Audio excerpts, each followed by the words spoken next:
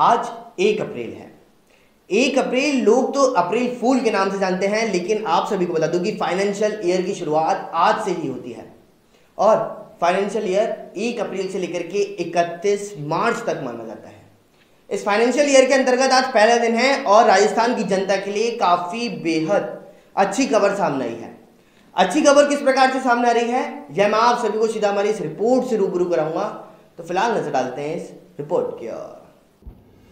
आज एक अप्रैल है और नया फाइनेंशियल ईयर 2022-23 शुरू हो चुका है। ये फाइनेंशियल ईयर राजस्थान के लोगों के लिए बड़ी राहत देने वाला साबित हो सकता है, जहाँ एक तरफ़ डोमेस्टिक कंज्यूमर्स को आज से हर महीने 50 यूनिट बिजली फ्री मिलेगी। वहीं प्रदेश के हर नागरिक को सरकारी हॉस्पिटल में किसी भी तरह के इलाज के लिए एक भी रुपए खर्च करने की ज़रूरत नहीं होगी। इसके साथ ही प्राइवेट हॉस्पिटल में लोगों को चिरंजीवी योजना के तहत पाँच की बजाय दस लाख रुपए तक का कैशलेस मेडिकल बीमा भी मिलेगा नए बदलावों में टोल रेट में पचास रुपये तक की बढ़ोतरी भी आज से लागू है।